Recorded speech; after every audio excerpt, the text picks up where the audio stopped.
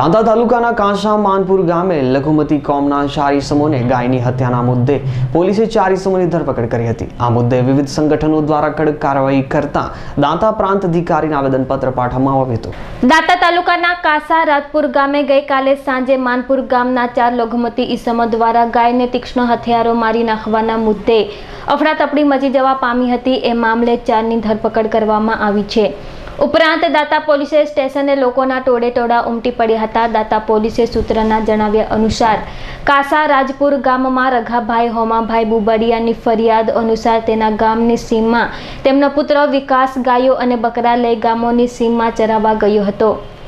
અને ત્યારબાદ તે બપોરે બે વાગ્યે બકરા લઈ ઘરે પરત આવ્યો હતો. તેથી તેના પિતા રઘાભાઈએ પૂછ્યું કે, તું ગાયોને છૂટી મૂકીને કેમ આવ્યો છે?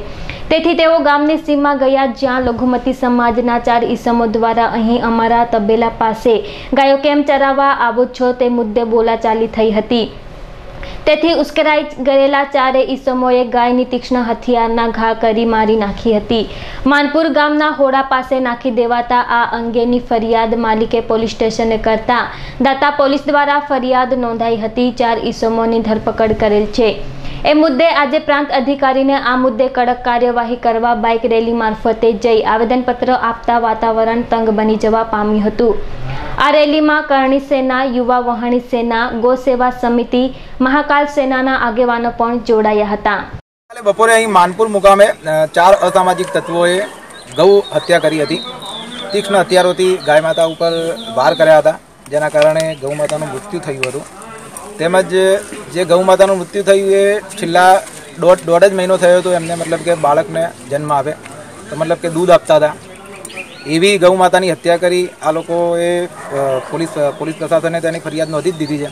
પણ અમારા અંતરિયાળ વિસ્તારમાં અવારનવાર આવી ઘટનાઓ ઘટતી હોય છે, જેને રોકવા માટે થઈને આજે શ્રી રાજપૂત કરણી સેના, શ્રી બનાસકાંઠા મહાકાલ સેના તેમજ શ્રી રાષ્ટ્રીય યુવા વાહિની તેમજ શ્રી ગૌ સેવક સમિતિ દાંતા તાલુકાની બધા જ યુવાનો ભેગા થઈ ભારે રોષની લાગણીથી અહીં sub sub divisional magistrate Shri Vaghela સાહેબને આવેદનપત્ર આપ્યું છે. અને જે દોષિતો છે એમના ઉપર કડકથી કડક કાર્યવાહી થાય તેમજ અવારનવાર જે આ ઘટનાઓ ઘટે છે એની ખાસ ધ્યાન રાખી આવી ઘટનાઓ બીજી વાર ના ઘટે. નહીંતર અહીંનો માહોલ બહુ બગડે એવો છે.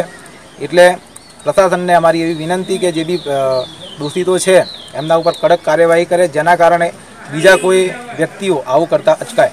પ્રકાશ ગોસ્વામીનો રિપોર્ટ ડીસા